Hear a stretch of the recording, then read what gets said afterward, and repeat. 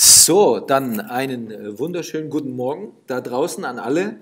Äh, ich freue mich, dass ich heute wieder mal ähm, ein richtig, richtig cooles Interview machen darf mit einer ganz tollen und äh, zudem auch sehr, sehr erfolgreichen Frau aus der Network Marketing Welt. Ich begrüße heute die Helena Löwenstein. Hallo, Frau Löwenstein, guten Morgen. Ja, hallo, guten Morgen, Herr Schlosser, guten Morgen, liebe Zuhörer. Schön, ähm, dass ich heute das ja hier mal machen kann. Bin so ganz gespannt, was mich so erwartet. Ja, klasse. Wir sind ja, wir waren ja beide ein bisschen aufgeregt. Wir haben ja gestern mehr oder weniger oder jetzt vor dem, vor dem Interview das erste Mal so, so ein bisschen länger telefoniert und äh, haben eigentlich noch gar nicht so viel gewusst voneinander, beziehungsweise das ist ja jetzt wirklich wie ein Blind Date. Ich habe gesagt, das ist alles cool, wir lassen den Kahn einfach laufen und philosophieren einfach ein bisschen über Network Marketing und über ihren Erfolg und das würde ich jetzt einfach so machen. Ist das okay? Ja, klar, kein Thema. Na super. Vielleicht auch am besten. Klasse, klasse. Wo, äh, wo müssen wir Sie einordnen? Wo, ich, ich weiß ja nicht mal, wo Sie gerade sitzen. Also, dass Sie in Ihrem Büro sitzen, weiß ich, aber aus welcher Ecke von Deutschland senden Sie gerade? stimmt, stimmt. Ja, Südwesten, Südwesten in der, also in der Nähe von Stuttgart, sage ich mal so. Hört man vielleicht ein bisschen auch das Schwäbische heraus. aus dieser Ecke. Aus Bodelshausen ganz genau, wenn das jemand was sagt. Okay. Ähm, ich kenne es nicht, aber ich werde es nachher mal googeln. okay. da sind wir, da sind wir gerade sind wir gerade bei einem, bei, einem, bei einem coolen Thema, cooles Stichwort Südwesten und Stuttgart. Ähm, okay. Bevor wir das ganze Persönliche machen, gleich mal äh, eine ganz direkte Frage. Gibt es Regionen, in denen es besser läuft in Deutschland? Also ich höre zum Beispiel immer, Baden-Württemberg und Bayern ist cool, weil die Leute mehr Geld haben. Kann man das bestätigen? Oh, ja, jein, sage ich mal. Ja gut, jein, wirklich jein. Also ich habe überall Strukturen eigentlich, auch im äh, Norden Deutschlands, natürlich hauptsächlich tatsächlich im Südwesten, klar, weil ich ja auch hier irgendwo lebe und wohne und hier auch aufgebaut habe, aber ja, ich sag mal, äh, jein. Irgendwo schon, aber ich denke mal, es gibt auch überall Menschen, die Lust haben auf mehr und mehr Erfolg und ich habe ja auch welche, die wohnen nicht hier und sind auch erfolgreich geworden. Also somit kann ich es jetzt nicht 100% unterstreichen, aber vielleicht ist was dran, kann sein. Okay, ähm, kommen wir vielleicht am Ende nochmal dazu. Die Strukturen gehen ja mittlerweile auch weit in, in, in den Osten, äh, nach Russland, nach äh, Kasachstan, Ukraine oder ich weiß nicht genau, wo, wo sind sie überall unterwegs? Kann man das vielleicht kurz anreißen? Ja, also hauptsächlich Russland, natürlich da ganz starke Strukturen. Russland, dann natürlich in Kasachstan, da bin ich ja auch geburtig, wenn ich das schon mal verraten darf. Okay. Auch da natürlich in meiner Heimat ein bisschen was gemacht und Ukraine natürlich auch, genau. Und ansonsten Europa, so Griechenland ein bisschen, Spanien ein bisschen, Holland jetzt seit neuestem ein bisschen und Deutschland natürlich. Aber Russland definitiv absolut die stärkste Linie. Wow, okay. Ach, Russland ist die stärkste Linie, nicht, nicht, mhm. nicht deutschsprachig. Nein, nein. Mittlerweile ist es, also wenn man das mal vergleicht, halb ist äh, Deutschland und der, sagen wir, der Rest und genau die Hälfte ist wirklich de definitiv Russland. Das ist schon Wahnsinn. Wow. Auch so viel zum Thema, wo Geld verdient wird. Ne? Also Baden-Württemberg und Bayern kann man in Russland ja nicht wirklich sagen. Da verdienen die Leute im Schnitt, keine Ahnung, lass es 300, 400, wenn überhaupt Euro pro Monat und sind trotzdem so erfolgreich. Und die Produkte sind dort nicht günstiger als in Deutschland. Das ist für mich immer paradox. Kostet dasselbe? Dasselbe. Ja? dann, wenn nicht sogar teilweise etwas mehr okay. durch die Verzollung und so weiter. Ne? Und es funktioniert trotzdem. Na gut, jetzt könnte man wieder mutmaßen, vielleicht haben die, Deu äh, die Deutschen aktuell ein bisschen mehr Geld zu konsumieren, also vielleicht im Produktbereich und vielleicht sind die Russen, sage ich jetzt einfach mal, ein bisschen hungriger, ne? weil für die ist es ja äh, Neuland noch so ein bisschen die Branche, oder? Ganz, also no, äh, nicht wirklich neu. Network Marketing ist dort wesentlich bekannter als in Deutschland, das kann ich bestätigen. Ach, Aber ähm, ja, definitiv, da sind die viel, viel weiter. Aber was jetzt halt hier natürlich vieles ausmacht, Made in Germany. Und das Made in Germany ist in Russland Gold. Also egal was, Hauptsache Made in Germany ist natürlich der eine Faktor, warum das wirklich so super äh, zieht. Und ich glaube, das zweite, ja, also was ich immer so sehe, die haben einfach kein Sozialamt, sage ich mal, wo sie hingehen können und sagen, ne, ich kann nicht, ich habe nichts, ich, ne, bitte unterstütz mich. Da muss jeder wirklich schauen, wo er bleibt. Ne? Das heißt, da müssen die echt gucken, wenn sie überleben wollen, müssen sie kämpfen. Egal wie. Und dann tut wirklich jeder sich an den letzten Strohhalm hängen. Hauptsache, er verdient irgendwie Geld. Also da ist mit Sicherheit viel dran. Deshalb sind die auch hungriger oder einfach, wenn sie eine Chance sehen, äh, nutzen sie die und machen da was draus. Definitiv. Also da ist Das ist, glaube ich, das Hauptsächliche, warum das dort so super funktioniert. Plus natürlich, klar, Made in Germany, Top-Konzept und so weiter, natürlich auch nicht unwichtig. Wow. Ja gut, die wissen wahrscheinlich dann auch, die können sich es einfach auch nicht leisten zu versagen. In Deutschland ist ja dann, ich sage das immer so, ich wünsche das niemandem, aber so wirklich schlecht geht es ja niemandem. Selbst wenn du Arbeit verlierst oder wenn irgendwas anderes, die soziale Hängematte ist ja doch noch recht, recht dicht gestrickt. Ja. Die Maschen sind ja nicht so groß, dass man durchfällt. Natürlich gibt es auch immer mehr Leute, die an Altersarmut leiden oder wenn dann gesundheitlich irgendwas ist, aber in der breiten Masse ist es in Russland wahrscheinlich noch äh, eine andere Liga, oder? Ja, definitiv. Noch viel, viel schlimmer, ganz klar. Da ist ja, da ist ja fast ja nichts mehr nichts geregelt. Gut, jetzt hoffe in den nächsten Jahren. Es wird immer besser, natürlich, aber bei weitem nicht bei der Bevölkerungsdichte äh, natürlich fast unmöglich, dass da irgendwie in den nächsten Jahren sich da was richtig geregelt oder dass da was geregelt bekommen. Das ist natürlich wirklich ganz anders, wirklich ganz anders. Aber trotzdem, die Menschen sind positiv. Das ist ja das. Manchmal hat man nicht viel, aber was ich da wirklich so super finde, einfach diese Einstellung wirklich zum Leben. Hammer. Also die sind so positiv, trotz allem, wo ich denke, mein Gott, was man da so sieht. Da denkst du ja wirklich, uns geht es ja hier super prima. Also wir haben ja echt, wir jammern ja am hohen Ast.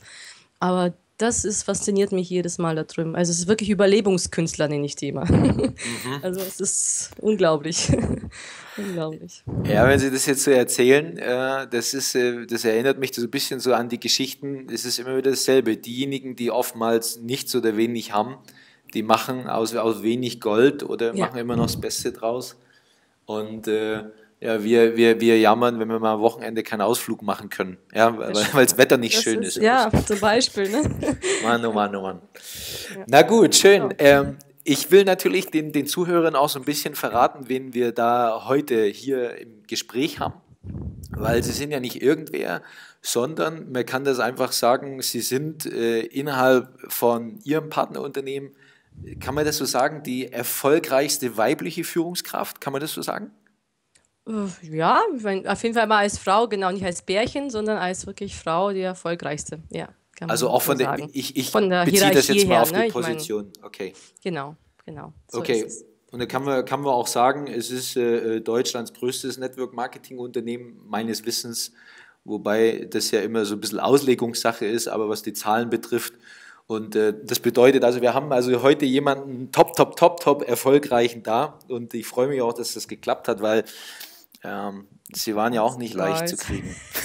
ich habe ja schon schlechtes Gewissen. Alles ist gut. Alles ist gut. Äh, Frau Löwenstein, äh, wie lange sind Sie denn dabei jetzt und äh, wie, wie ging es denn los? Also vielleicht kurzer Abriss. Wie lief das so bei Ihnen? Heute sind Sie erfolgreich, können eigentlich sagen, ich habe fast alles geschafft. Aber es ging ja irgendwann mal los mit der ganzen hm. Geschichte, oder? Ja, klar. Ja, gut, ähm, das war vor 17 Jahren, auch schon so lange her, aber es kommt mir vor, als wäre es gestern gewesen. Genau, also kam, wie, wie, wie kam es überhaupt dazu? Mehr oder weniger per Zufall. Ich, ich war ja wirklich total woanders tätig und Network Marketing nicht wirklich gekannt. Und ähm, ja, eines Tages eben, die Geschichte ist ja bekannt durchs Internet, ähm, bin ich einfach mal McDonalds ähm, abends essen gewesen und ja, eine wildfremde Dame kam auf mich zu, natürlich äh, im besten Ort, wo man Geschäfte machen kann, nämlich auf einer Damentoilette und hat mich wirklich auf das äh, Konzept angesprochen gehabt. So war eigentlich der Anfang. Tatsächlich. so bin ich in diese Geschichte reingeraten, richtig, tatsächlich. Also definitiv Wahrheit entsprochen. Es ist echt verrückt, aber so war der Beginn. Ich liebe das. Na, ich, liebe das ich liebe das deswegen, weil ich, ich sag mal, ich kann ja auch, äh, wie soll man sagen, ich sage immer, ich kann wirklich nicht viel aber ich will sagen, fremde Leute in der Öffentlichkeit auf Geschäftsideen ansprechen, das habe ich halt auch gelernt. Auf einer Damentoilette habe ich jetzt noch niemanden angesprochen. Aber das hat was damit zu tun, weil ich halt ein Mann bin. Genau. Also es ist so ein richtiger, cooler, klassischer Direktkontakt, oder? Ja, ja. Also ich habe jetzt im Nachhinein auch erfahren, wie das überhaupt kam, weil warum, warum das jetzt auf der Toilette passieren musste.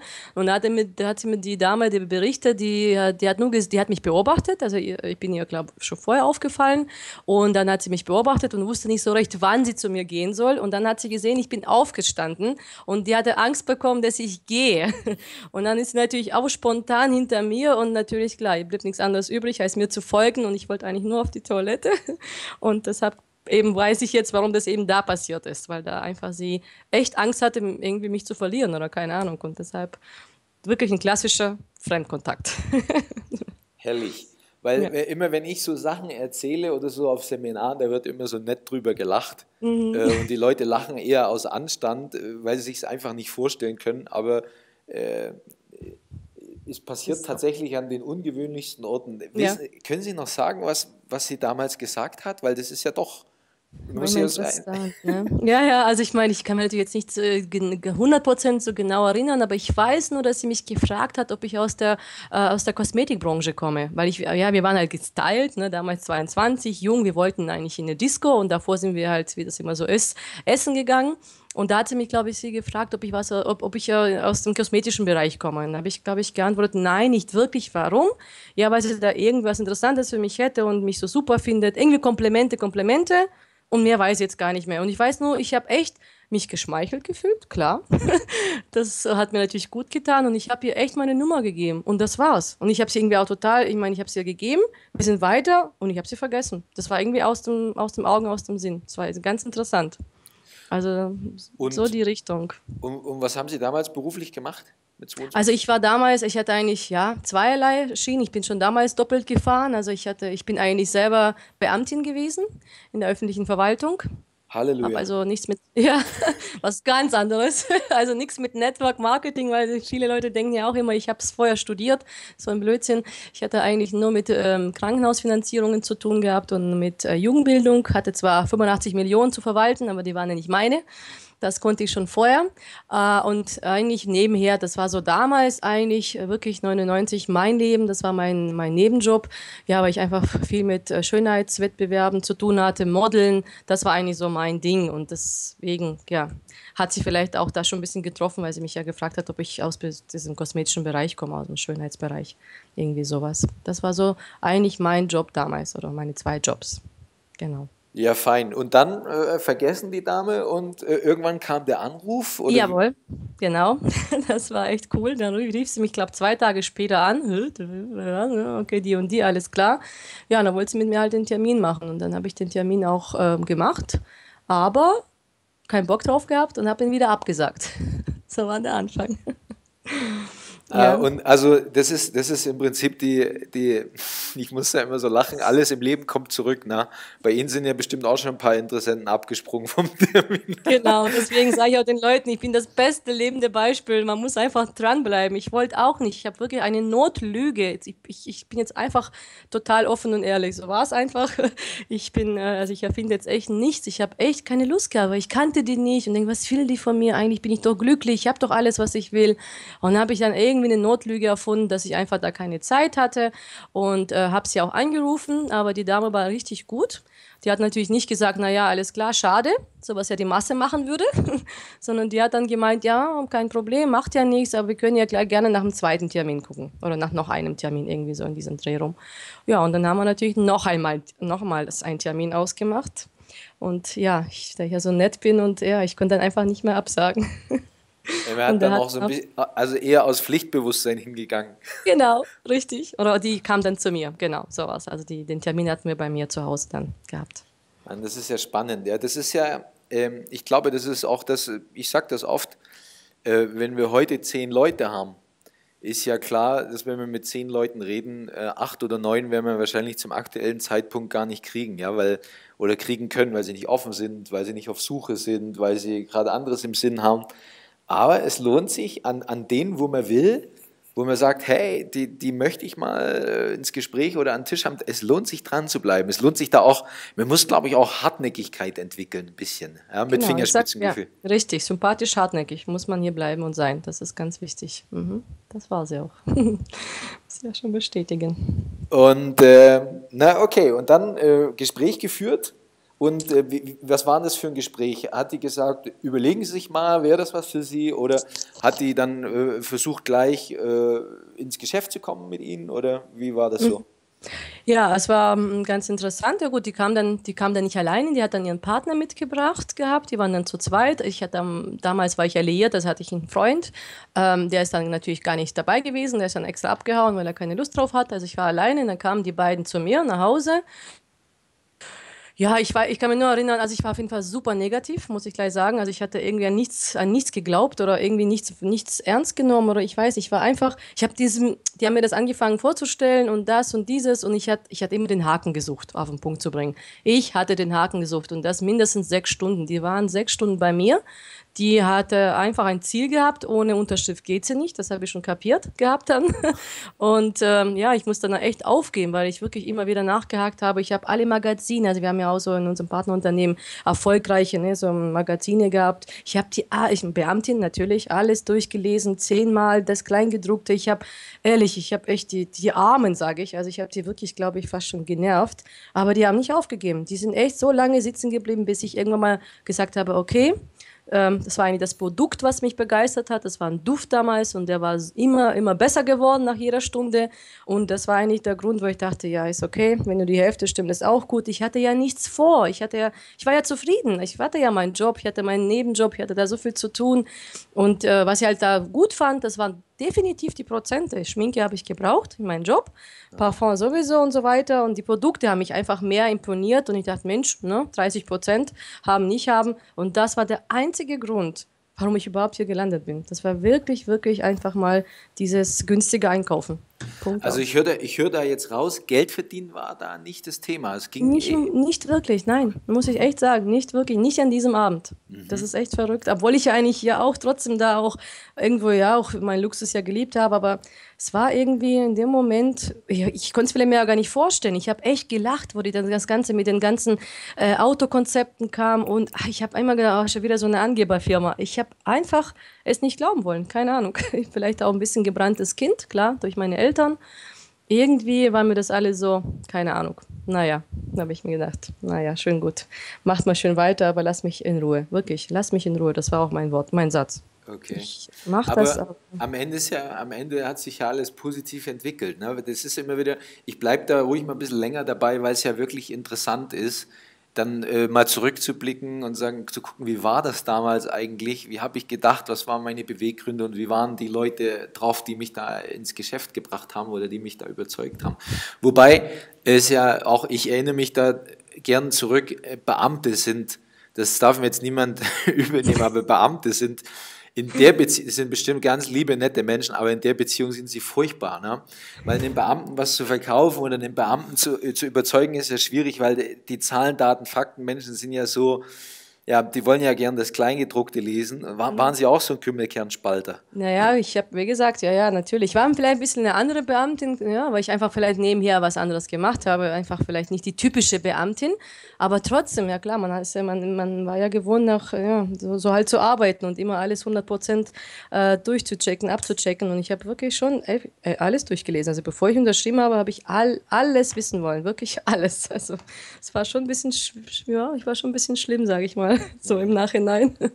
Aber ich war immer nett, also ich muss echt sagen, ich habe äh, die trotzdem nett verabschiedet und irgendwie, ja, es war damals ja auch das, was ich nicht verstanden habe und ich glaube, auch heute gibt es Menschen, die es immer noch nicht verstehen. Ja, es gab halt immer so Einstiegspakete, die man eben erstmal nehmen musste, um überhaupt mal die 30 Prozent oder irgendwelche Nachlässe zu bekommen. Das ging in meinen Kopf nicht hinein. Warum musste ich das jetzt hier machen ne? oder unterschreiben oder das abnehmen? Da haben wir uns sehr lange drüber unterhalten, das weiß ich. Und ähm, nachhinein hat er mir auch versprochen, diese Investition wieder mit reinzuholen. Also er wird mir dann so weit, so lange helfen, bis die Investition natürlich drin ist. Also das ähm, war dann auch nochmal so eine Abmachung. Ah, ja. Genau, und das hat auch dann auch funktioniert. Und das war wahrscheinlich mit der Grund, wo vielleicht doch mehr Begeisterung kam. Und letztendlich waren es natürlich, wie halt im Network Marketing, wie ja immer wieder Schulen, Seminare, Seminare, Seminare. Und das war absolut mein Ding. Auf Seminaren, erst auf dem Seminar habe ich echt da habe ich es irgendwie so einigermaßen kapiert oder da habe ich irgendwann gesehen, wow, doch gar nicht mal so ohne. Ist doch echt interessant. Thema Geld verdienen, ganz klar. Das wäre jetzt mal eine Frage von mir gewesen. Jetzt muss man natürlich sagen, äh, ich, ich schätze jetzt einfach mal so ein, jetzt sind Sie ja schon, also zumindest äußerlich, wenn man so guckt, schon eine richtige Karriere-Lady. Also äh, Designerklamotten, immer coole Handtaschen, da äh, Porsche hier und Hotel da und so. Also es ist mhm. einfach, ich glaube, es ist ein, es ist ein äh, begehrlicher Lifestyle. Ähm, würden Sie sich selber als Karrierefrau äh, jetzt, oder wann, wann ging denn das los?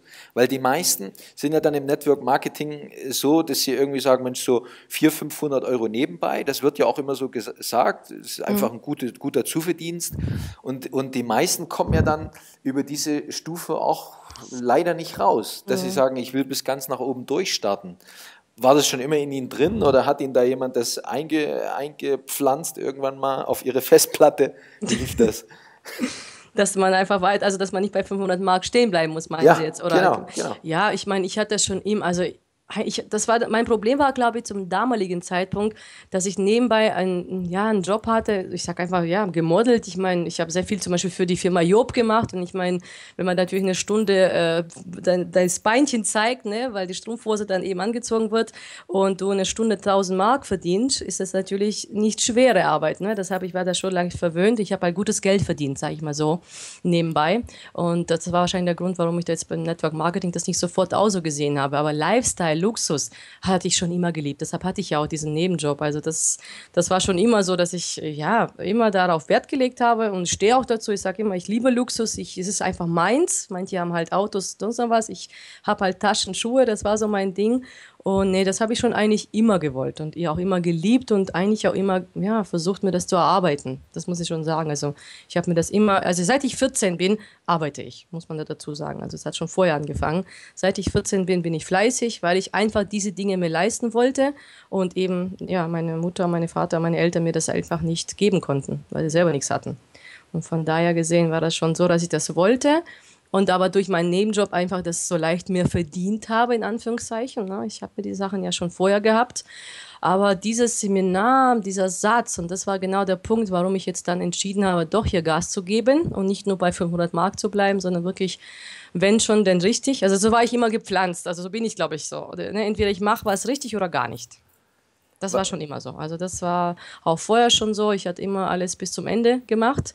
Und äh, was mich halt bei jetzt Network Marketing begeistert hat, das war eigentlich ein einziger Satz oder zwei Sätze. Und das war mein Ding. Lieber verdiene ich ein Prozent von dem, was 100 Menschen arbeiten, als 100 Prozent von meiner eigenen Arbeit. Und da habe ich mich getroffen gefühlt, weil Schönheit vergeht. Und das war mein Problem in dem Moment, weil ich dachte, Schande, ich bin 22, wie lange geht es noch gut, dass ich so super tolles Geld verdiene? Irgendwann bin ich out, ist einfach so. Ja, und das Einkommen würde wegfallen, aber mein Lifestyle, mein Lebensstandard wollte ich ja natürlich trotzdem haben. Und ich glaube, das war diese Entscheidung damals, die ich getroffen habe, wo ich gesehen habe, wow, Network Marketing ist ja wirklich verdammt viel möglich und vor allem eben, dass ich dann auch mein Leben lang mein Lifestyle weiterhin genießen kann. Und das war, glaube ich, der Punkt, warum ich dann hier Gas gegeben habe. Also, ähm, wer, wer, hat den Satz gesagt? Das ist. Also, das ist ein Paul Getty, ne? Hieß er, glaube ich, in Zitat oder so. Zitat, genau, Paul Getty. Das Lieber verdiene ich an äh, 100 Leuten 1% als 100% an mir selber. Ja, das cool. war mein Ding, keine Ahnung. Da, hat, da, da bin ich nach Hause, das hat bei mir gerattert. das hat bei mir gerattert, wirklich. Alles andere war toll und ich habe auch meinen Mentor damals zum ersten Mal kennengelernt. War, ich war begeistert, aber wenn ich jetzt so mal zusammen so nach zurückdenke, was war eigentlich der Beweggrund, warum ich trotzdem, die, ich musste eine Entscheidung treffen, weil ich konnte ja nicht drei Jobs machen. Und das war wirklich dieser Satz, ja, definitiv. Der hat mich bewegt. Ja, super. Also, ähm, wie, wie ging dann der Übergang? Also, ich sage mal Modelkarriere. Also, übrigens, da wollte ich nochmal drauf eingehen. Ähm, ist übrigens sehr, sehr weitsichtig mit 22. Ja, gut, ob das jetzt stimmt oder nicht, werden wir nicht rausfinden bei Ihnen. Aber mit 22 schon äh, zu denken, irgendwie alles ist vergänglich, muss mir ein bisschen Gedanken machen, was passiert danach, muss ja im Prinzip jeder, der mit seinem Körper auch Geld verdient. Es gibt ja so viele äh, Sportler, Leistungssportler, Leute, die äh, irgendwelche Models, Moderatoren, es hat ja alles eine, eine gewisse Halbwertszeit ja, mhm. und, und bestimmte Jobs bedürfen also bestimmten Aussehen oder Leistungsfähigkeit und ja. so ab 40, 45 plus ist das tendenziell dann ja eher alles abnehmend. Ja, ja. ja. Äh, sehr, sehr weise mit 22 da schon äh, diese Weitsicht zu haben, weil den, den meisten, machen wir mal so, ich habe auch einen Freund, der ist Schauspieler, der ist sehr, sehr bekannt, ja, okay. und der genießt es in vollen Zügen, der ist da letzten Endes engagiert, viel Geld ist es nicht. Das ist so ein bisschen so eine Ego-Geschichte. Das mhm. war jeden Abend im Fernsehen, aber so richtig verdient tut er gar nicht. aber das ist immer so, das ist so diese Welt, das, das, das bleibt ewig so. Und äh, die, die, die wenigsten haben das ja. Ne? Jetzt habe ich gestern Champions League geguckt. Da hieß es wieder, der Philipp, Philipp Lahm hat da irgendwie mhm. sich irgendwo eingekauft in der Firma für nach seiner sportlichen Karriere. Aber, aber die meisten denken ja gar nicht äh, an, an das danach. Ne? Ja, das stimmt. Ja, das stimmt wirklich. Da, wenn ich jetzt echt so drüber nachdenke, ja, da war ich wirklich schon echt damals sehr erwachsen. Vielleicht einfach, keine Ahnung, durch jetzt meine Eltern oder durch diese Geschichte, wo ich herkomme. Ich habe keine Ahnung, weil ich muss wirklich sagen, ich war schon in, in meinem Alter damals wirklich viel weiter als meine äh, ja, Kollegen, sage ich mal, oder Kameraden oder Schulkameraden. Also da muss ich schon sagen, da war ich schon immer ein bisschen weiter. Das stimmt. Stimmt, wenn Sie mir das gerade so sagen. Vielleicht, vielleicht, können wir da, vielleicht können wir da äh, so ein bisschen, bisschen die Leute sensibilisieren, die sich das Interview anhören werden, ich, ich weiß ja, das wird innerhalb äh, kürzester Zeit mehrere tausend Male angehört werden. Äh, vielleicht gibt es ja den einen oder anderen, der zuhört, der vielleicht selber momentan noch jung und frisch ist und wo alles cool ist. Aber gibt es so den Spruch, so früher schon an später denken, ja, nicht nur was die Finanzen mm. betrifft. Wenn wir, wenn, na klar, es ist cool, das Leben zu genießen und aus dem das Beste zu machen, was man hat. Aber so ein bisschen ein, zwei Joker im, im Ärmel zu haben, ja, man kann ja, ja. nebenbei anfangen, was aufzubauen. Definitiv. Weil die meisten, suchen immer, die meisten suchen immer erst dann, wenn das Kind in den Brunnen gefallen ist, mhm. wenn sie ihren Job verlieren oder wenn sie äh, irgendwo gescheitert sind, dann ist es natürlich schwer, äh, ja. in dem Moment irgendwie Geld zu verdienen, aber nebenbei schon was anzufangen, was aufzubauen, das ist ja durchaus schlau. Ja. Super, also kann ich jetzt auch der, jeder, der mir jetzt hier zuhört oder zuhören wird, nur empfehlen, nur empfehlen. Also wirklich, ich habe es ja hinter mir und ich bin Gott dankbar und froh und echt glücklich, dass ich damals wirklich jung, jung es echt aufgebaut habe, auch wo ich vielleicht noch nicht die Kinder hatte, wenn jetzt auch jemand wirklich mal Familien plant und so. Also viel besser, wenn man das nebenbei ohne Stress, weil das ist, halt, glaube ich, der Punkt. Der Kopf muss frei sein und deswegen scheitern viele, weil die einfach den Kopf nicht frei haben, weil irgendein Problem im Nacken sitzt. Und das war ja bei mir Gott sei Dank nicht wirklich. Ne? Ich hatte absolut kopffrei für diesen Job, weil ich ja mein festes Einkommen hatte, ne, wovon ich meine Fixkosten decken konnte. Ich denke schon, dass es auch ein Mitgrund ist, warum ich es geschafft habe oder gepackt habe.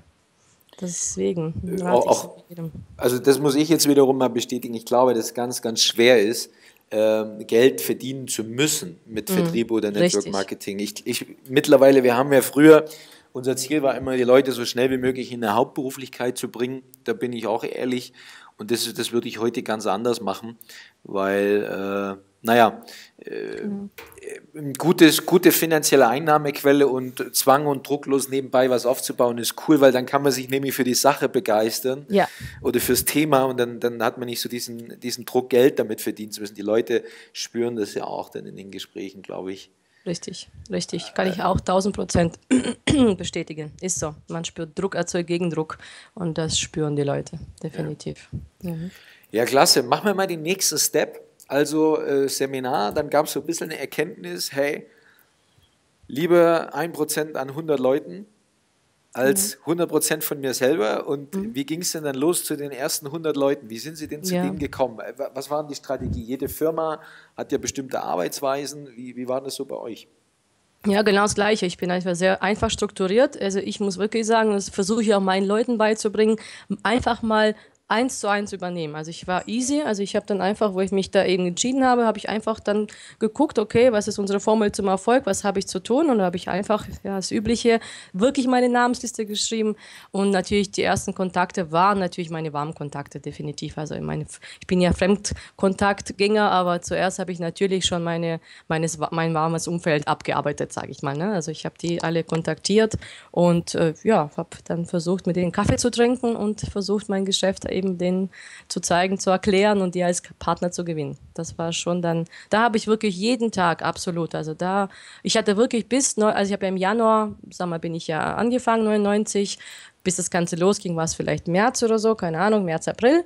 Also bis Ende 99 hatte ich absolut wirklich drei Jobs, das muss ich sagen. Ich ich habe drei Jobs gehabt. Meinen Hauptjob, meinen Nebenjob, weil da war ich verpflichtet. Da habe ich ja dafür unterschreiben müssen, dass ich ein Jahr Deutschland vertrete, weltweit, als Miss Germany Europe. Und ich habe, hatte LR. Und, ähm, und irgendwie habe ich es gepackt. Ich weiß nicht wie, aber ich habe es trotzdem geschafft. Keine Ahnung. Ich war natürlich am Ende des Jahres platt und da musste ich eine Entscheidung treffen, die ich ja jetzt heute auch nicht bereue. Ich musste einen Zweig ablegen, aber eigentlich bis Ende des neuen, also bis Ende des Jahres habe ich wirklich alles gemacht. Ich weiß nicht wie, aber ich habe es echt gepackt. Aber ich habe wirklich meine Leute zu Termin gewonnen. Ich, hab, ich war sehr bekannt für dieses Sponsoring. Also ich habe sehr viele Leute rekrutiert. Also ich hatte pro Monat Einstiege mindestens so zwischen acht bis zehn neue Partner. Das wow, di direkte, direkte. Ja, direkte, direkte. Moment, das muss also, ich mal aufschreiben, das müssen wir wiederholen, das müssen wir in, Ste in Stein meißeln.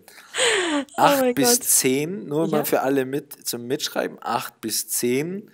Und äh, über welchen Zeitraum? Äh, ich habe eigentlich jahrelang so gearbeitet, muss ich ja sagen.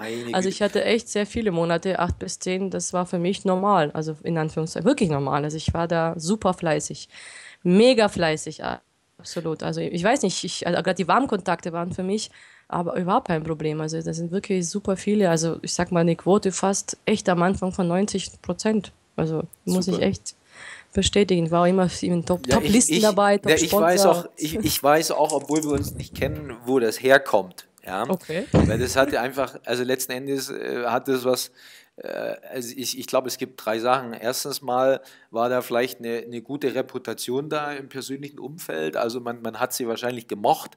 Ja. Punkt Nummer zwei, jetzt waren sie noch fleißig dazu. Und äh, das sind einfach so die Dinge, ich kriege ja auch immer die Fragen gestellt, wie, wie, wie, schaff, wie schaffen wir das mal, mehrere Leute gleichzeitig ins Geschäft zu bringen? Ich sage dann immer, wenn nichts mehr hilft, hilft Arbeit. Ja? Mhm, richtig. Also man muss natürlich auch, ich höre das so raus, über Kaffee trinken, das hört sich jetzt so easy an, aber ja, das waren wahrscheinlich dann einige Kaffee teilweise. Dann das waren einige Kaffees, ja. Das waren einige Kaffees. Aber ich war immer, ja, ich, ich, hab, ich weiß nicht, ich, ich war da einfach easy, ja. Ich habe wirklich einfach, weil ich ja, gemacht, getan. Ich habe mir vorher keine Gedanken gemacht, was ich ja immer wieder bei meinen Partnern raushöre. Immer dieser Kopf, der, der ist immer der Haken oder dieser, der, man stellt sich ja selber im Wege. Ich habe da nicht drüber nachgedacht. Ich habe wirklich einen Hörer in die Hand genommen. Bei meinen ganzen Nein, also bei Freundinnen, ist, natürlich habe ich das ja irgendwo von der Schulung gehabt, so dieses, ne, ruf einfach an. Ich habe dann einfach nur gefragt, hey, wie sieht's aus, sollen wir wieder mal einen Kaffee trinken? Ja, klar. Haben die, haben die, Leute, haben die Leute gewusst, dass, also das wäre jetzt mal interessant für mich, das ist zum Beispiel eine Frage, die ich auch von Kunden gestellt kriege. Also die rufen jemanden an, mhm. Äh, wollen wir wieder mal Kaffee trinken? Und dann haben die natürlich während dieses Kaffeetrinkens dann den zwanghaften äh, Drang, das Geschäft vorzustellen. Mhm. Und dann gehen diese Kaffeetrinken meistens so ein bisschen in die Hose, mhm. weil derjenige natürlich denkt, es geht um den Kaffee und dann wird noch irgendwas ausgepackt oder gezeigt. Äh, Gibt es da einen Tipp oder oder haben Sie es einfach einfließen lassen oder haben, die, haben Sie schon gesagt, hey, ich habe auch noch was, was ich by the way zeigen möchte oder wie lief ja. das? Ja, ich, ja ich, ich hatte da ja, einen guten Trick, in Anführungszeichen. Ich habe das immer so gelöst. Ich habe wirklich tatsächlich eben angerufen, ob, ob sie Lust hat, wieder Kaffee mit mir zu trinken. Und bevor ich aufgelegt habe, habe ich einfach nur dazu gesagt, du, du übrigens, ich habe noch eine kleine Überraschung für dich. Ah, okay. Und wenn ich jetzt, wenn ich jetzt frag, fragen würde, okay, was ist das für eine Überraschung? Eine Überraschung ist eine Überraschung. Lass dich einfach mal überraschen. Ehrlich. Also da hat auch keiner komischerweise gefragt. Also ich habe eigentlich, glaube ich, das hat ja immer so geheißen, man soll ja nur Neugierde am Telefon wecken, ne? damit ja. die, die, Person ja wirklich es kaum erwarten äh, kann, mich zu treffen. Mhm. Und das habe ich damit echt erreicht. Das hat, da hat keiner gefragt, wirklich keiner. Ich habe nur gesagt, übrigens, ich habe nur eine Überraschung. Ne? Und dann war das echt so, die konnten es ja kaum, kaum erwarten. Am besten morgen gleich oder am besten sofort abends mit mir einen Termin machen wollen, damit sie erfahren, was jetzt wieder die Helena hier im Schilde führt ja, man, natürlich, die haben ja an alles gedacht, aber nicht an diesen Job. Also ich meine, die haben mit Sicherheit sich dann Gedanken gemacht, habe ich jetzt einen neuen Freund oder habe ich sonst noch was. Ja. Aber mit Sicherheit keiner wäre auf die Idee gekommen, dass ich jetzt so mit so einem Geschäft antanze. Und mein Gott, die Überraschung war ja schon der Koffer, den ich da mitgeschleppt hatte. Und das ist das Interessante. Das ist wirklich so, weil die ja so unbefangen waren, weil die ja keine Zeit hatten, sich Gedanken drüber zu machen. Aha. Zu 99 Prozent sind sie bei mir alle eingestiegen. Ich habe übrigens ein tolles äh, Sponsorkonzept für Sie, Frau Löwenstein. Okay. Weil ich habe jetzt, hab jetzt gehört, äh, Miss Germany Europe sind Sie gewesen. Ist das richtig? Ja. Ja, das ist genau, ja geil. Damals 99. Ähm, äh, was ich jetzt machen würde, ich würde mir jetzt alle, ich würde mir jetzt eine Liste rauslassen, welche, welche Misses es gegeben hat, jemals in Deutschland. Da gibt es ja viele Kategorien. Da würde mhm. ich die alle suchen bei Facebook, Sing oder Wikipedia. Die würde ich alle rausfinden. Und dann würde ich mich darauf spezialisieren, ähm, Misses zu sponsern. Ja, das habe ich auch damals gemacht. Ich meine, deswegen hatte ich sau leichtes Spiel. Klar, wenn ich als Miss Germany Europe in die Jury gekommen bin und saß da und habe die Mädels natürlich bewertet und am Schluss natürlich, die haben mich ja angeschaut wie sonst noch was. Ich war ja für die ja Gott sozusagen. Und wenn ich dann natürlich dann in die Kabinen gegangen bin, da habe ich natürlich, klar, von allen die Nummern bekommen. Es war überhaupt nicht schwierig. Ah, ja. ähm, das war natürlich schon auch mit, natürlich vielleicht ein Vorteil damals. Da, da muss, ich, da muss ich kurz einhaken. Was sagen Sie denn jetzt Leuten, ähm, also, sie sind so ein bisschen äh, Miss, Miss Glamour Girl ja, mhm. gewesen oder auch heute noch. Und, äh, Versucht sein Bestes. Nein, äh, nein das, das ist einfach, jetzt, jetzt liegt natürlich der Gedanke nahe, dass jemand sagt, ja, du hast ja immer leicht gehabt. Ja? Also du sahst gut aus, du hast schon gut Geld verdient, hast es nicht nötig gehabt, hast Haufen Leute gekannt, aber ich, ja, ich bin mhm. jetzt zum Beispiel äh, Lieschen Schmidt mit zwei Kindern zu Hause, und äh, wohnen auf dem Dorf. Mhm. Jetzt, und jetzt kommen Sie, was würden Sie jetzt sagen? Ja, es ist ja, das ist ja genau das, man meinte, es war leicht, es war aber nicht immer leicht, weil da auch natürlich sehr viel Neid in diesem äh, Milieu natürlich auch äh, eine Rolle spielt. Und manche äh, waren natürlich dann so, dass sie es ja wieder mal nicht gegönnt haben. Also so einfach war es ja gar nicht. Ich habe sogar, am Anfang war es easy, aber mit den jungen Girls, das wollte ich noch zu Ende sagen, bin ich nicht weitergekommen. Die sind zwar alle begeistert eingestiegen, wahrscheinlich wegen mir, aber da hat keiner weitergemacht. Bis dann irgendwann mal ein Anruf kam von meinem Mentor, und er sagte so ungefähr, schau mal zu, dass mein dein Alter hochgeschraubt wird. Also nicht nur 20-Jährige und 18-Jährige, sondern schau zu, wenn du weit kommen magst, dass du auch mal ein, das Alter nach oben schraubst. Und ja, und dann musste ich ja auch gucken, dass ich auch etwas ältere Menschen gewinne. Und die habe ich natürlich dann nicht in diesem Milieu gewinnen können. Mhm. Und deshalb äh, von wegen, dann bin ich natürlich raus und äh, habe dann Fremdkontakte ja natürlich gemacht mit diesen ganzen anderen. Und da war ich bei vielen natürlich ja immer so das Püppchen. Also ich hatte es nicht einfach, muss ich schon sagen. Also von daher gesehen, es hört sich vielleicht einfach an, aber es war im Gegenteil, manchmal sogar fast schwerer. Ja, man, denkt, man denkt es immer, das, also deswegen habe ich die Frage gestellt, äh, es, es treten dann Probleme auf, an die manche andere Leute gar nicht ganz denken genau, würden. Ja. Richtig, ganz genau. Man echt ist einfach so. Also man wird entweder dann jeder nicht ernst genommen, weil man einfach so ein Püppchen war, oder eben an, ja, das ist so der Neid natürlich. Also es sind viele Faktoren, zusammengespielt, wo man einfach das, glaube ich, sogar fast schwerer hatte damals. Und ich habe das teilweise auch wirklich äh, ver, ver, verheimlichen wollen, damit das keiner gewusst hat, dass ich eben Miss sowieso war. Ich habe das nie nach außen hin äh, irgendwie so geout, mich geoutet oder das dann das genutzt. Im Gegenteil, weil das war eigentlich für mich fast ein Nachteil als ein Vorteil. Wirklich. Also von daher muss man das schon ganz anders sehen, weil einfach mal einfach andere Probleme wirklich da waren, die die anderen gar nicht kennen können, weil okay. sie einfach nicht aus dem Bereich kommen. Genau. Okay, vielleicht mal noch ein bisschen was zu, äh, zu den Zahlen, wenn Sie darüber reden können. Oder wann waren denn die ersten, oder ich sage jetzt mal, wir haben ja vorhin von diesen 100 Leuten gesprochen. Mhm. wann waren mhm. die da? Kann man das so ein bisschen beziffern? Und wie viele, wie viele Leute sind es jetzt in der Orga? Haben Sie dann Überblick? Plus, dass die Leute mal ein Gefühl dafür entwickeln, ja. was, was sich da auch entwickeln kann? Klar, mehrere tausend. Also ich Gott, natürlich, ich, ich habe jetzt nicht die genaue Zahl, aber ich denke mal, keine Ahnung, gemeldet, also registrierte, gut, mittlerweile viele auch wieder weg, ne? Aber auch mehrere Tausende, 60, 70, 80.000, keine Ahnung, mittlerweile, wow. die gemeldet sind. Natürlich weiß man es ja, klar, es ist ist ja wie überall. Ne? Äh, nur der 10, 10 Prozent von denen sind dann natürlich die Superguten und die Superaktiven, von dem hat man ja auch was. Das ist ja auch vollkommen normal. Dieses Pareto-Prinzip funktioniert ja auch hier ganz gut. Ähm, aber ja, die 100, die ersten 100, ja, wenn man so überlegt, waren natürlich sehr schnell da bei der Quote, die ich natürlich hatte. Das ging dann ratzfatz. Also ich bin auch sehr schnell in diese höchste Stufe reingekommen, an die ich ja nie geglaubt habe. Das ist äh, 21 Prozent, ja, nennt sich das ja, bei euch. Genau, ja? okay. das ist die 21 Prozent und ich habe da echt gesagt, oh mein Gott. Und die hatte ich ja wirklich, was ich äh, jetzt mal Ausland äh, weggerechnet, äh, eingestiegen in zehn Wochen. Wow. Jetzt, ja. Das, das, das ist natürlich auch von der Vorbildwirkung cool, wenn man das vorweisen kann. Dann hat man natürlich auch äh, im, im, im, bei den neuen Leuten kann man immer sagen, hey, ich habe das in zehn Wochen gemacht. Haben Sie, haben, Sie, haben Sie Leute, die das schneller gemacht haben bei Ihnen in der Orga? Ähm, ja, in Russland definitiv. Sehr viele. Sehr wow. viele, sehr viele, ja, ja, auf jeden Fall.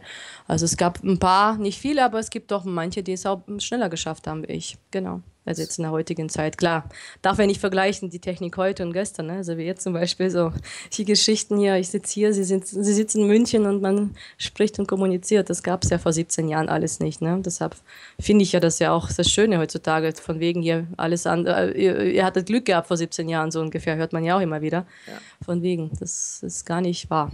Gar nicht da wahr. da, äh, da würde ich gerne nochmal drüber reden wollen in 17 Jahren hat man ja einiges erlebt. Also ja. eigentlich haben sie ja total oldschool angefangen. Mhm. Ja, kann man wirklich laut sagen, definitiv. Und, und, und jetzt äh, auf einmal Russland, Europa, Skype, sie arbeiten über Webinare. Das interessiert mich jetzt mal. Hey, machen Sie in Russland auch Direktkontakte? Habe ich, also ich mache alles, äh, ich muss es machen. Also ich bin ja so eingestellt, ich kann ja niemandem was weitergeben, ohne zu wissen, ob das funktioniert. Und deshalb war es für mich ganz wichtig, wo ich dann das erste Mal in Moskau war, da bin ich echt auf die Straße. Ich wollte ja wissen, ob es hier auch funktioniert, die Fremdkontakte. Und? Wunderbar. Wunderbar. Echt? Besser als in Deutschland, kann ich Ihnen sagen. Natürlich, was nachher dabei rauskommt, ist was anderes, aber easy. Absolut easy. Dobry, das heißt dann äh, Dobry Den. so Sie sind mir, genau. Können Sie das mal auf Russisch sagen? Hallo, ähm, Sie sind mir gerade positiv aufgefallen. Der Grund, warum ich Sie anspreche, ich bin Unternehmerin hier und wir machen was Neues. Äh, kann man, können Sie das mal auf Russisch sagen? Geht oh das? Oh Gott. Wollen Sie das wirklich hören? Na, wenn, gut, kann ich machen. Geht da was? Ja, klar, soll ich das einfach jetzt mal machen? Ja, also, ja, bitte. Das jetzt einfach auf Russisch. Ja. Извините, пожалуйста, можно вас кое-что спросить? Мне просто вот сейчас вот я вас увидала, вы просто такой, вот такой, скажем, для меня открытый человек. Я вот сама просто приехала с Германии и вот работаю э, с немецкой компанией, которая сейчас открывает у вас филиал. И вот я хочу, вот ищу просто серьезных таких симпатичных людей, как вы. Э, вопрос к вам. Можно ли вот просто э, вас спросить, чем вы занимаетесь, что вы делаете? Okay. Genau. Ich übersetze. Hallo, Sie sind mir gerade äh, positiv aufgefallen. Äh, der Grund, warum ich Sie anspreche, äh, ich arbeite für ein großes deutsches Unternehmen im Schönheitsbereich und wir sind derzeit dabei, neue Filialen hier zu eröffnen. Äh, wir suchen noch äh, sympathische Personen, die Lust haben, Karriere zu machen, was dazu zu verdienen. Richtig, sowas in der Art. Ja, genau. Ja, sauber. Interessant, oder? dass, Mensch, dass der Spruch auch in Russland funktioniert, ich finde das sehr cool. Das war mir wichtig, das wollte ich rauskriegen, weil ich kann ja nicht den Leuten sagen, macht Fremdkontakte und die gehen vielleicht gar nicht. Und das war mir ganz wichtig. Also das sollte schon Hand und Fuß haben. Ja, das super, super.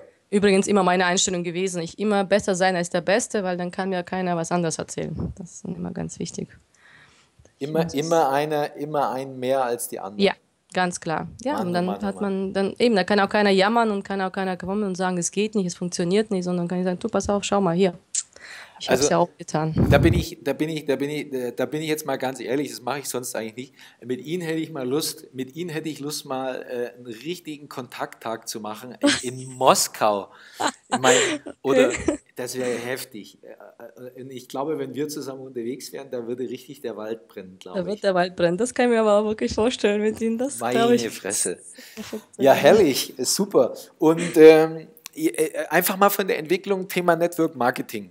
da bin ich hierher gekommen, ähm, äh, Oldschool vor 17 Jahren, heute internationaler äh, Lifestyle. Was sagen Sie zu der Entwicklung? Man sagt ja immer so, Mensch, Network Marketing ist die Zukunftsbranche und äh, es wird immer besser. Ist das wirklich so oder sind das nur Phrasen, die da gedroschen werden? Also ich bin der Meinung, dass es wirklich so ist, also dass es wirklich sich äh, absolut viel getan hat, absolut. Also wenn ich überlege, also natürlich gibt es immer noch die, die, die, die wird es immer geben, die immer noch wie im alten Trichter sind, aber ich finde, da tut sich einiges, absolut, muss ich schon sagen. Das sind Welten dazwischen. Also heute ist halt wirklich Network Marketing, ja, viele kennen das oder zumindest was haben davon gehört. Es, ist, es entwickelt sich wirklich zum Positiven. Also ich bin der Meinung, das ist wirklich absolut die Zukunft. Und wie viele Firmen gehen diesen Weg ne, oder steigen da jetzt um und äh, gehen wirklich äh, diesen Empfehlungsmarketing-Weg. Da haben sie erkannt, dass es ja schon absolut ja, der Beste ist, sage ich mal, in meinen Augen. Also. Ja gut, ich, ich glaube, es relativiert sich. Vor 40 Jahren gab es drei oder vier Firmen, die da was gemacht haben. Und die Skepsis war einfach größer. Heute gibt es ja. 400 Firmen und die Leute haben es nicht. Es ist halt auch immer so, wie ich es drehe. Ne? Ich könnte sagen, noch nie, niemand hat noch was davon gehört, ist ein Vorteil. Und heute könnte man sagen, jeder kennt es schon, ist auch ein Vorteil. Ne? Ist bloß die Frage noch, wo er einsteigt. Genau. Äh, genau. Aber im Großen finde ich das eine absolut, also eine tolle Entwicklung. Also es wird immer mehr und ich sehe es ja, die ganzen Länder eben, äh, wie gesagt, Russland weit, vora, weit voran, Amerika, ne, Japan, die sind ja schon viel, viel weiter. Und das sagt ja schon alles, also oder vieles, dass das absolut so der Trend dahin geht. Ja, durch, durch dieses Russland-Geschäft gab es das schon immer, aber ihr seid ja, glaube ich, erst drei oder vier Jahre in Russland. Äh Seit fünf Jahren. Wir haben jetzt dieses Jahr feiern wir Jubiläum, äh, fünf Jahre, genau. Also wenn ich, wenn ich jetzt mal rechne, also einfach vom Zuhören, also wenn, wenn, wenn Russland die stärkste Struktur ist, äh, glaube ich so, die Hälfte vom Geschäft oder so, ja dann bedeutet das, in den letzten fünf Jahren hat sich das Geschäft verdoppelt von Ihnen durch den Auslandsmarkt, oder? Ganz genau, cool. richtig. Kann man so sagen. Kann man so sagen, ja. Das, ist so. Das ist ja abgefahren. Wo, wo, wo ist das Hauptengagement dann oder wo sehen Sie dann die Zukunft? Überall oder eher Russland oder deutschsprachig? Ja, ich meine, mm, eigentlich ja überall, ich sag mal, Tendenz steigernd. Also auch Deutschland hat ja jetzt auch wieder zugelegt, muss ich schon sagen, war ja zeitlang also ein bisschen, wo die Leute, glaube ich, ein bisschen bequemer geworden sind. Aber nee, läuft jetzt wieder super. Aber ich denke mal, überall, überall wird es, ich denke schon, dass es steigen wird, definitiv. Ja, die Leute haben in Deutschland noch geglaubt, bis vor kurzem, die Rente ist sicher, weil der Ganz Norbert genau. das gesagt haben. Das Aber jetzt sagen ja äh, Leute schon, die Rente ist nicht mehr sicher. Ja, selbst die Riester-Rente gilt als gescheitert. Ja, Wahnsinn. Ne? Vorgestern, ein toller Bericht, wo ich gesagt habe, Mensch, den Bericht muss ich mir sofort im YouTube mal anschauen und finden, meinen Partnern auf dem Seminar mal zeigen. Ja. Für die ganz Letzten, die noch schlafen, dass das absolut Fakt ist, was wir erzählen. Ich meine, das ist ja der Grund, warum, also warum ich Network Marketing betreibe. Genau aus diesem Grund, weil ich will nicht irgendwann mal leben und nicht irgendwie mich auf etwas, auf jemanden verlassen, sondern ich kann das echt in die Hand nehmen und jetzt steuern, ne? damit ich überhaupt in diese Probleme gar nicht komme. Das ist für mich Network Marketing. Das ist ja das Leben verändern, das, das Positive und nicht nur das Produkt. Ne? Ich habe ja verstanden, dass Produkt nur Mittel zum Zweck ist. Das habe ich irgendwann mal kapiert. Naja, gut, ich sage jetzt mal, Sie haben es damals auch gebraucht, dass Sie es günstiger gekriegt haben, war noch ein Vorteil. Genau, na klar. Die Masse Aber natürlich geht über Produkt wahrscheinlich am Anfang. Das wie soll klar. man sagen? Ich, ich, ich sage halt immer, Network Marketing oder Vertrieb ist halt ein Vehikel. Ja, das ist, ich kann äh, Leuten dabei helfen, ein alternatives Rentenkonto aufzubauen. Ich kann äh, mhm. Selbstständigen helfen, ein Existenzsicherungsmodell mhm. zu installieren. Ich kann einem Sportler helfen, betriebswirtschaftliches Anschlusskonzept nach der sportlichen Karriere kennenzulernen. Äh, also, und das ist, glaube ich, das, worüber sich die meisten äh, gar nicht so bewusst sind. Ja? Aber mhm. äh, deswegen, deswegen ist es wichtig, dass man mal da jemanden wie Sie da auch äh, reden hört zu solchen Sachen. Ja. Sehr, sehr schön. Ja, cool. Ähm, wie ist das? Vielleicht noch ein paar abschließende Worte. Ähm, was, was würden Sie den Leuten, die dir jetzt zuhören, äh, draußen mit auf den Weg geben? Also ich sage, es gibt ja viele, die gerade sich orientieren, viele, die gerade anfangen. Auch da können wir offen drüber reden. Äh, man muss ja jede, jeden Tag auch, ja, es ist ja nicht immer nur alles positiv. Mhm. Was sind so Ihre Erfolgsmaximen oder wenn Sie jetzt ein Meeting halten für Ihre Organisation, was, was sagen Sie den Leuten? Was sind die Steps? Was sollte man tun? Wie sollte man denken? Was sind die Erfolgsfaktoren? Mhm. Ja, klar, also für die, die jetzt natürlich ganz am Anfang sind, also ich meine schon mal, auf jeden Fall mal beglückwünschen, dass wir überhaupt mal die Chance bekommen haben. Ich denke mal, heutzutage ist immer noch so, dass viele, viele diese Chance noch gar nicht bekommen haben. Ich bin einmal angesprochen worden in 17 Jahren, nie mehr wieder danach. Echt nicht? Also ja, nie mehr wieder. Wahnsinn, wirklich. Nie mehr wieder. Und ich war ja wirklich, oder ich bin viel unterwegs, viel draußen. Es ist verrückt. Und nicht jeder kennt ja mich oder weiß, aha, die ist ja schon bei Network Marketing Unternehmen tätig. Nie mehr wieder. Und das ist für mich schon der Beweis. Wahnsinnige Chance hatte ich. Ein Glück hatte ich damals, zum richtigen Zeitpunkt am richtigen Ort zu sein. Und das ist schon mal für viele, wo ich sage mal, wenn ihr die Chance schon mal habt, Mensch, seid glücklich, schätzt euch glücklich. Und natürlich ganz wichtig, ich glaube, das Allerwichtigste ist natürlich Einstellung. Ich denke mal, das ist immer diese Frage. Viele wollen immer gleich loslegen, wie mache ich was, aber ich denke immer, das Wie bringt gar nichts, wenn ich nicht weiß, warum ich überhaupt jetzt mich dazu entschlossen habe, es zu tun. Also ich denke mal, das ist so wichtig, sich mal darüber Gedanken zu machen. Was ist überhaupt das Ziel? Was will ich damit erreichen? Ich finde das ganz, ganz wichtig, sich mal damit auseinanderzusetzen da muss man sich natürlich bewusst sein, was Sie ja schon gesagt haben, es ist nicht immer einfach sein wird. Es ist ganz klar, man muss wirklich mit, äh, ja, einfach harte Arbeit. Ich sage immer Network, das sagt es ja schon. Nicht Net Play, Net Sleep, Net, äh, was weiß ich, Game, heißt ja Work. Und Work ist für mich Arbeiten, dass man das einfach sich bewusst ist, man muss hier was tun. Und dann auf jeden Fall Regelmäßigkeit. Finde, was wichtig ist, der Glaube an sich selber. Das ist so wichtig. Das ist Wahnsinn. Viele, viele meinen immer eben die und die und der und nur ich nicht. Und das ist ganz wichtig am Anfang, glaube ich. Diese Einstellung, wissen, warum man es machen möchte, sich irgendwas finden, an was man sich anhalten kann, Einstell positive Einstellung, eben Glaube an sich und natürlich durchhalten. Durchhalten, durchhalten. Wirklich einfach vielleicht am Anfang nicht zu viel erwarten und äh, einfach dranbleiben. Diese Regelmäßigkeit, ne, das ist ganz, ganz wichtig. Das würde ich den Leuten auf den Weg geben am Anfang, dass man einfach dran bleibt und einfach mal von eins zu eins sich jemanden findet, vielleicht einen tollen Mentor, wo man weiß, okay, der hat es gepackt, den finde ich sympathisch und da vielleicht mal ein bisschen mal guckt und ein bisschen was abschaut. Ne? Und einfach mal äh, es tu, das tut, was das Unternehmen halt eben, für was man arbeitet, einfach vorgibt. Ne? Es gibt ja mit Sicherheit in jedem Unternehmen Erfolgsgeschichten, die sind ja schon gelebt worden. Ich sage immer, man hat ja schon, den Weg sind ja schon viele gegangen. Ich muss ja nur einfach in diese Fußstapfen einfach rein und fertig, nachmachen. Absolut. Das, mehr ist es doch gar nicht eigentlich. Schönes, schönes Statement. Ähm, das ist ja übrigens auch genau der Grund, warum wir diese Interviews machen, weil äh, ich kann mich erinnern, bei mir selber waren es immer die, die Geschichten der Erfolgreichen. Äh, ich lese auch heute noch sehr, sehr, sehr gerne Biografien und ich weiß, also auch mit dem Interview werden wir wieder unheimlich viele Leute erreichen, werden wir unheimlich vielen Leuten äh, Mut machen, werden wir Leuten auch Kraft geben. Und äh, ich weiß, da war wieder so viel drin, auch an Input, an Know-how, dass sich da sehr, sehr viele wieder was rausziehen können und auch rausziehen werden. Also, äh, ich sage mal an der Stelle, tolles Vorbild, tolles Beispiel, eine super Karriere gemacht und immer noch auf einem äh, tollen Weg. Hat mich sehr gefreut, Frau Löwenstein, dass Sie sich die Zeit genommen haben. Ähm, ich selber bin inspiriert, habe auch wieder viel gelernt. Und äh, ich sage einfach mal Danke für die Zeit und bis irgendwann vielleicht mal persönlich.